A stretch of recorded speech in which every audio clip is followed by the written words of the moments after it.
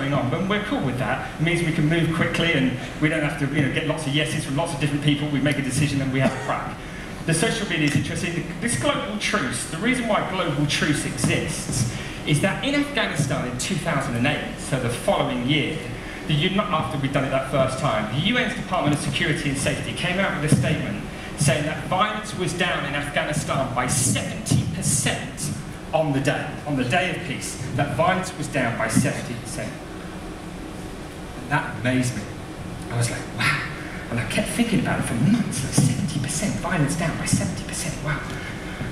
What if, therefore, we could create a day where we reduce violence on a global scale? I mean, if you can do it in Afghanistan, and that was the place that everybody said it was impossible, surely we could do it globally because, well, we, we, we, surely could. I mean, it makes total sense that we could. And that's what Global Truce is, was to say, okay, this year just gone, we will try to reduce violence globally and measure it by, by activating the most amount of people that have ever stood together in the name of peace. And that's what Global Truce is.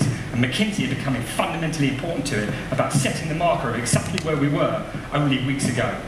The life-saving initiatives I told you about, many of your organisations were involved. Global Truce as part of that initiative to reduce violence on a day, we built coalitions.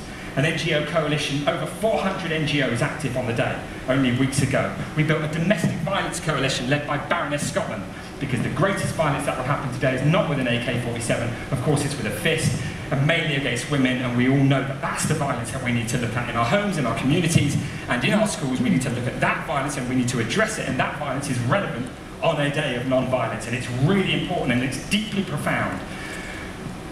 So that's the life-saving side of things. The education, traveling the world, from the beginning I was always in schools, and we now have a global education resource I'm delighted to say is funded by Skype. It's in the six official languages of the United Nations. We've seen registration in 197 countries. And when I sit with various people, the prosecutor of the International Criminal Court of Justice or whoever, and say, when is this place going to shut? And he says, when we give peace education you know, to every young person on the planet, when we give them the tools to become the peacemakers, to let them know that they can make a difference and they can change the world and that their actions count. And actually, you guys are the key to it because the only way that that's going to happen is through investment. And so to be talking in front of a group of fundraisers is obviously a massive honour because you are the key to the kind of peace that we want to see.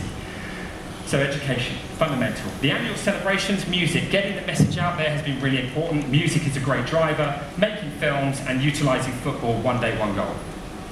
The way we funded it is with corporate relations because I was running around trying to get a little bit, I mean, it just wasn't working.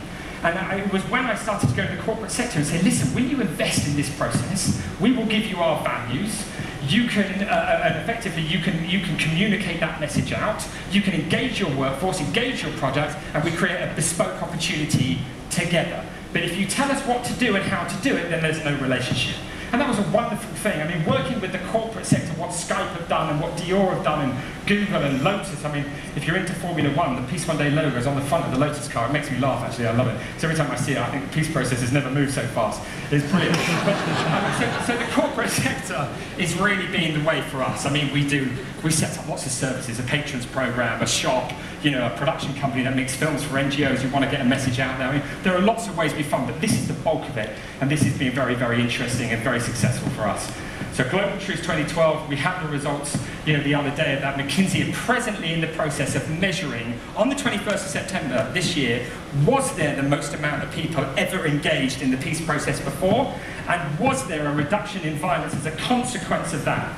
I believe the answer to both of those things is yes. McKinsey is spending a fortune on finding out if that's the case. But whatever it is, for me, getting to the top is completely irrelevant. As long as you set the bar, you just tell me how much further we've got to get the following year, because we're going to learn from everything that we just did in order to be able to get, get a little bit higher each time. And the wonderful image of Gandhi earlier, who inspired me right at the beginning with that book, An Experiment with Truth, ultimately that's what this is.